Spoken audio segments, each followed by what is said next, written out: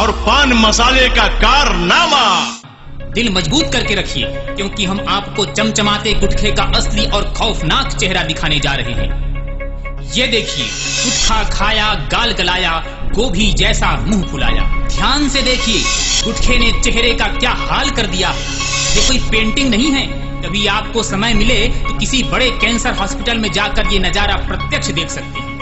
गाँव गाँव और गली गली में फैल गया इसका कहर संसार की सर्वाधिक बिक्री वाला यह स्वादिष्ट जहर। रंग बिरंगे पाउचों में जहरीला है पान मसाला। कैंसर की प्रयोगशाला बन गया है खाने वाला। पान मसाला जर्दा गुटखा। खाते ही कैंसर का खटका। पान मसाला जर्दा गुटखा। खाते ही कैंसर का खटका। देखिए महाराष्ट्र के इस नौजवान के गाल को देखिए कैसे कैंसर से सूज गया है। ये रोज़ाना गुटखे का सेवन करता था। देखिए, ऑपरेशन करके इसके पूरे जबड़े को ही बाहर निकालना पड़ गया। है कई बार हम सोच में पड़ जाते हैं कि गुटखा बनाने वालों को क्या इन पर दया नहीं आती? गुटखा बनाने वाले, क्या तेरे मन में समाये? काहे को गुटखा बनाए तूने? काहे को गुटखा बनाए? लाखों को मरते देखा लाखों को मरते देखा फिर भी दया न तुझे आए। को गुटखा बनाई तूने? काहे को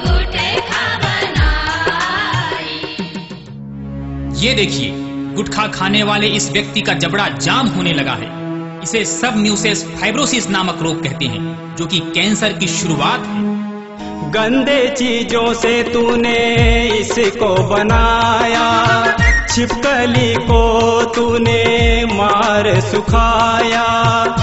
जी हाँ मित्रों मरे हुए छिपकली के हड्डियों को पीसकर गुटखे में मिलाया जाता है। गंदे चीज़ों से तूने इसको बनाया।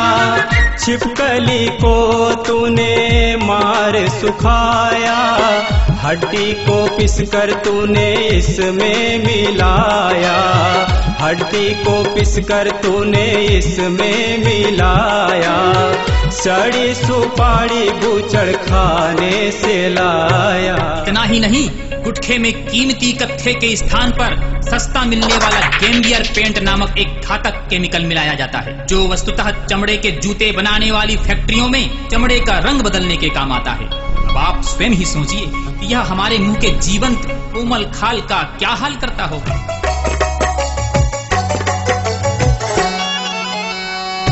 गुटखा जो खाए भैया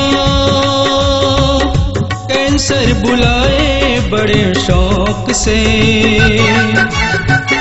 बाप और भैया रोए छाती पिटेंगे बड़े खौफ से। हे भगवान दम निकलेगा अर्थ सजेगी, रोएगी प्यारी बहना। होगी बड़ी खराबी, होगी बड़ी खराबी। गुटखा खाने वाले लोग सोचते हैं कि इसमें लौंग, इलायची, पिपरमेंट और केसर भी रहता होगा। पर वास्तविकता यह है कि इनके स्थान पर एसेंस मिलाया जाता है, जो कि हानिकारक केमिकल है। गुटखे में कैंसर पैदा करने वाले तत्व कुछ इस प्रकार हैं।